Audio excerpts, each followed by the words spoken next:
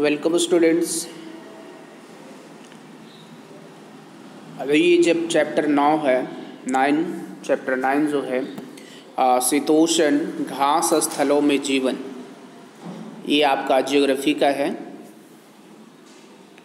तो आज हम आपको बताएँगे कि शीतोषण घास स्थलों में जो है, शीतोषण प्रदेश जो है, और वहाँ के घास भरी स्थल है, उसका वहाँ का जीवन क्या है? ठीक है? इसमें हम तरह तरह के जो है खेती, घास के बारे में और उनके वहाँ के जीवन यापन के बारे में यहाँ बताएँगे। तो चलते हैं, हम देखते हैं कि यहाँ पर जैसे कि आप देख पा रहे हैं, यहाँ से स्टार्ट होती है आपका। ठीक है?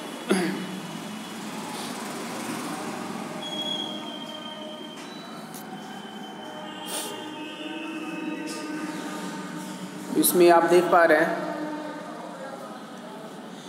कि वन घास स्थल और कांटेदार झाड़ियाँ पृथ्वी के एक बहुत बड़े हिस्से में फैली हुई है। देखो, वन जो है, घास है घास स्थल है, कटीली झाड़ियाँ है, ये धरती के बहुत सारे हिस्सों में फैले हुए हैं। जिन क्षेत्रों में काफ़ी अधिक वर्षा होती है उनमें वन आमतौर पर पाए जाते हैं। देखो, यहाँ बताया गया है कि जहाँ पर वर्षा अधिक मात्रा में होगी, वहाँ जंगल भी ज़्यादा होगा। ठीक है? जिन क्षेत्रों में सामान्य वर्षा होती है, उनमें घास स्थल पाए जाते हैं। जहाँ पर जो है, घास एक नॉर्मल लेवल में होती है, ठीक है? तो वहाँ पर घास ज़्यादा मात्रा में उपजते हैं। और जिन क्षेत्रों में सामान्य से भी कम वर्षा होती है उनमें कटीली झाड़ियाँ पाई जाती है। अब आपको पता चल गया होगा कि जंगली जो क्षेत्र होते हैं, वहाँ खूब वर्षा होती है। जहाँ उससे कम वर्षा होती है, वहाँ घास ज़्यादा होगा। और जहाँ पर कम से कम बारिश होती हो, ठीक है, वहाँ पर आपकी कटीली झाड़ियाँ उगेगी, ठीक है। तो घास स्थल, उष्ण कटिबंधीय और शीतोषण कटिबंधीय दोनों क्षेत्रों में पाए जाते हैं। विशेषकर महाद्वीप के भीतर भूभाग में। अब यहाँ पर देखिए, आपके पास एक टॉपिक्स आ रही है प्रेयरी हम जानेंगे कि प्रेयरी क्या है तो जैसा कि यहाँ पर बताया गया है, आप देख पा रहे हैं, ठीक है, अपने बुक में।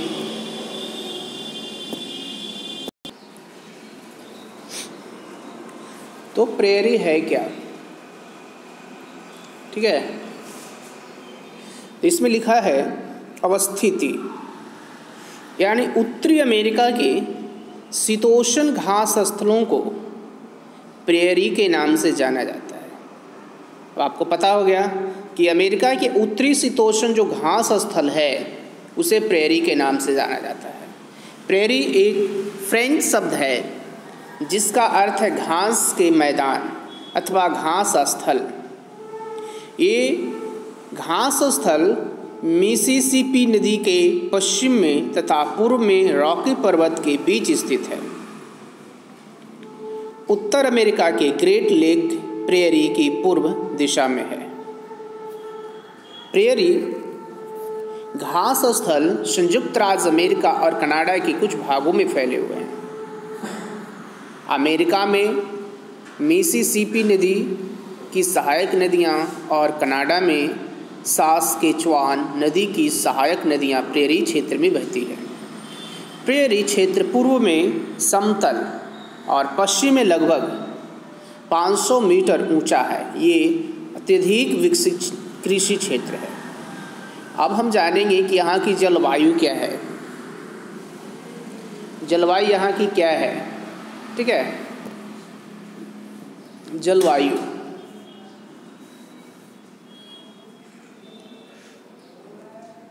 तो महाद्वीप के भीतर भूभाग में स्थित होने के कारण प्रेरी घास स्थलों में चरम तापमान वाली जलवायु होती है। इसमें 20 डिग्री सेल्सियस तापमान के आसपास ग्रीष्म ऋतु काफ़ी लंबे समय तक रहती है और सर्दियों में तापमान माइनस बीस डिग्री सेल्सियस तक पहुँच जाता है। वर्षा सामान्य होती है, जो घास की वृद्धि के लिए आदर्श है। चिनुक एक गर्म शुष्क पवन का नाम है, जो शीत ऋतु में रॉकी पर्वत की पूर्वी ढलान से होकर बहती है, जिससे कम समय में ही तापमान बढ़ जाता है और बर्फ़ पिघलने लगती है। यही कारण है कि इसे बर्फ़ खाने वाले पवन के नाम से भी जाना जाता है।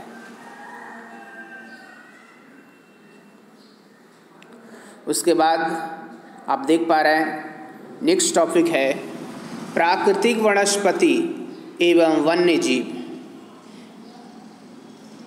यानी यहाँ पर प्राकृतिक वनस्पति के बारे में और वन्य जीव जो होते हैं, उसके बारे में यहाँ बताई गई है। जैसे लिखा है, प्रेरी घास स्थल में लंबे वृक्ष नहीं पाए जाते हैं।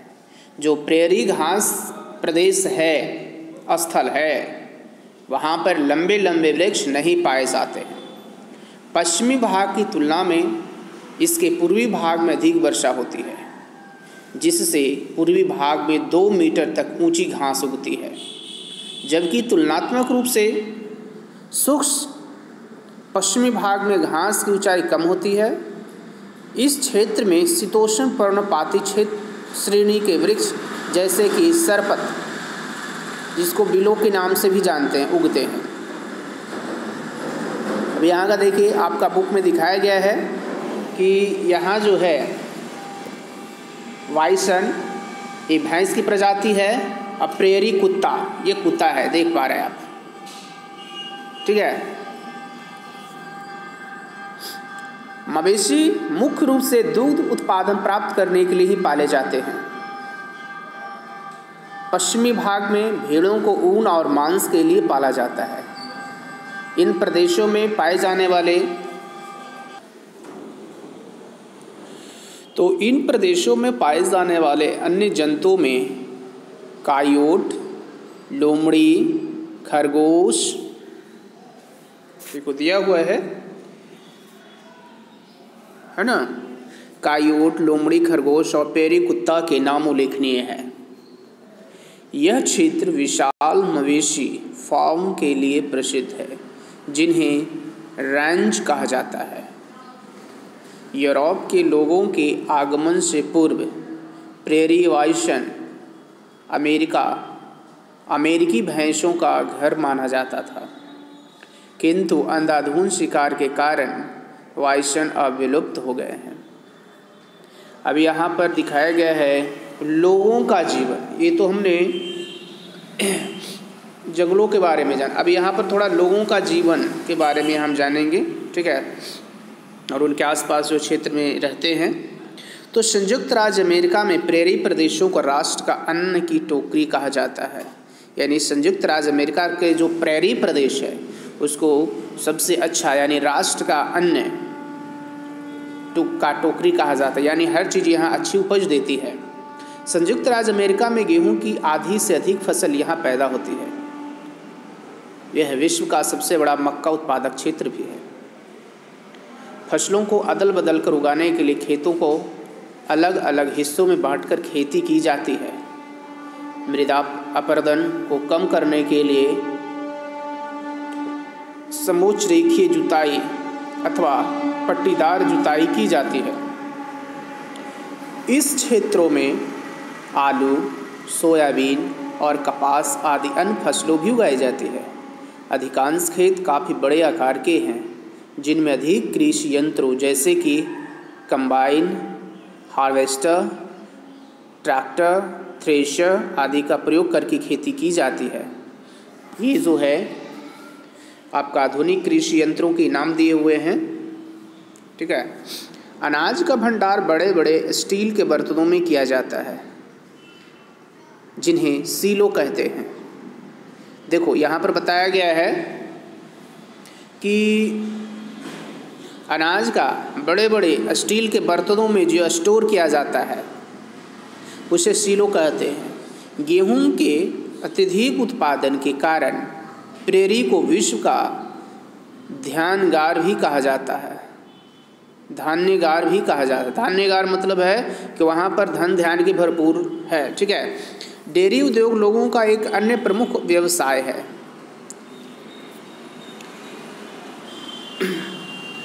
विशाल रैंचों में मवेशियों के रहने और चारागाहों दोनों व्यवस्था होती है।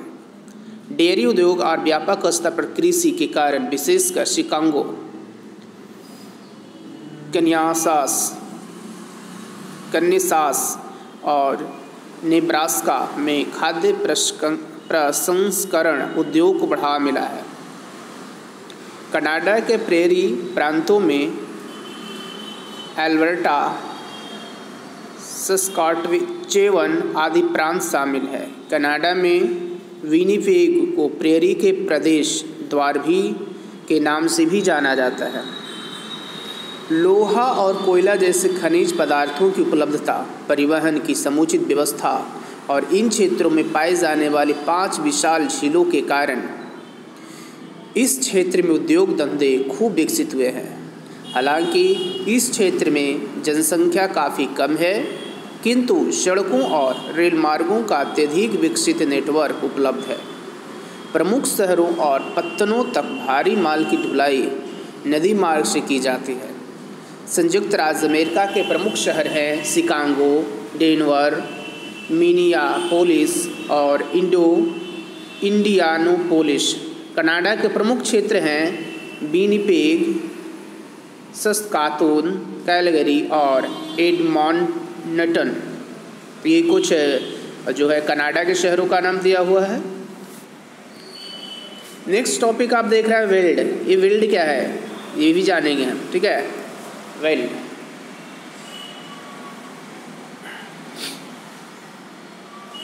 तो वेल्ड घास स्थल अफ्रीका के दक्षिणी भाग में स्थित है। यह शीतोषण घास स्थल है, जो मकर रेखा के आसपास स्थित है।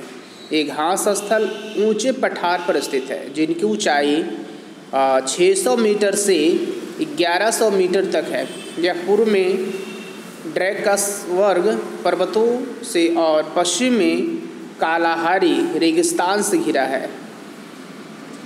दक्षिण अफ्रीका का अधिकतर भाग पठारी है, जिसका ढलान पूर्व से पश्चिम में है। उत्तरी पूर्वी पठार, जिसकी ऊंचाई लगभग 1600 मीटर है, उच्च वेल्ड के नाम से जाना जाता है। इस घास स्थलों में लिम्पोपो और ऑरेंज नामक नदियाँ बहती है।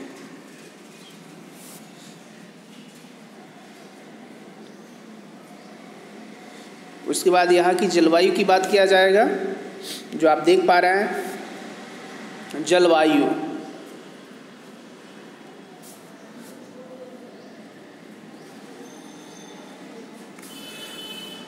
तो वेल्ड की जलवायु मृदु है, जिससे यहाँ गर्मी में अधिक गर्मी नहीं पड़ती और सर्दियों में हल्की ठंड रहती है। यहाँ औसत तापमान लगभग 20 डिग्री सेल्सियस रहता है।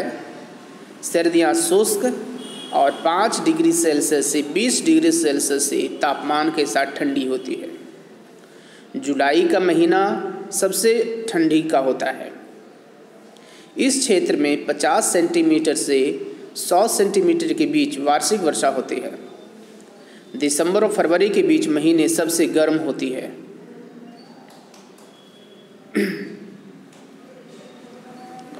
उसके बाद आप देख पा रहे हैं, अगला जो टॉपिक्स है,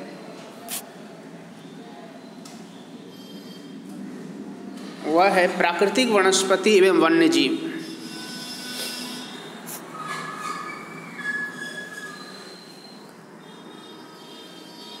तो इस क्षेत्र में काफ़ी कम वनस्पति पाई जाती है। दक्षिणी पश्चिमी क्षेत्रों में कम वर्षा होने के कारण घास काफ़ी कम लंबाई के, यानी बौने होते हैं। शेष क्षेत्र में छोटे छोटी घास उगती है। उच्च वेल्ड में बबूल और मारोल वृक्ष दिखाई देते हैं। इन घास स्थलों में विविध किस्म के जंतु जैसे कि हाथी, गेंडा, दरियाई घोड़ा, जिराफ, हिरन, जेबरा, मिरनो, भेड़ आदि पाए जाते हैं। देखो, यहाँ पर मिरनों भेड़ का भी चित्र दिया हुआ है, आप देख पा रहे हैं। उसके बाद बताया गया है, लोगों का जीवन। तो पशुपालन और खनन लोगों का सबसे अधिक महत्वपूर्ण व्यवसाय है। खाना बदोशों की तरह पशुचारण करते हुए इधर उधर भटकने के बजाय अब यहाँ के लोग एक स्थान पर बसकर वाणिज्यिक प्रयोग हेतु पशुपालन करने लगे हैं। यहाँ उगाए जाने वाले कुछ महत्वपूर्ण फ़सलों में मक्का, गेहूँ, गन्ना और कपास है। ग्रामवासियों की सबसे मूल्यवान संपत्ति पशु होती है। भेड़ों का पालन मुख्य रूप से ऊन के लिए किया जाता है, जिसका प्रयोग ऊनी वस्त्र उद्योग में किया जाता है। उम्दा किस्म की ऊन प्राप्त करने के लिए मेरिनो प्रजाति की भेड़ पाली जाती है। डेयरी उद्योग भी काफ़ी विकसित है, तथा पशुओं से दूध, मक्खन, पनीर आदि प्राप्त किया जाता है। बेल्ट क्षेत्र में लोहा कोयला, सोना, मैंगनीज और हीरे के विशाल भंडार हैं। जिस क्षेत्र में लोहा और कोयला उपलब्ध है, वहाँ लोहा और लोहा और इस्पात उद्योग काफ़ी विकसित है। जोहान्सबर्ग सोने के भंडार के लिए तथा किम्बरले हीरे की खान के लिए प्रसिद्ध है। यूरोपीय उपनिवेशकों ने इन क्षेत्रों में खनन क्रियाकलाप को विकसित करने में अत्यधिक योगदान दिया है। तो इस तरह से जो है आपने अभी देखा। और ये कुछ जो है पाठ का सारांश दिया हुआ है जो आपको ऑब्जेक्टिव क्वेश्चंस और लॉन्ग क्वेश्चन के लिए भी बहुत ही इम्पोर्टेंट्स है। तो ये पाठ का सार जो है ठीक है ये समरी आपको भी आ, थोड़ा पढ़ लेनी चाहिए। तो इस तरह से जो है ये चैप्टर आज ख़त्म होती है। छोटी सी चैप्टर थी। तो आप जो है इस वीडियो को पूरा देखें और इसके क्वेश्चंस जो हैं वो आप लोग अपनी कंप्लीट करेंगे। ठीक है, थैंक यू।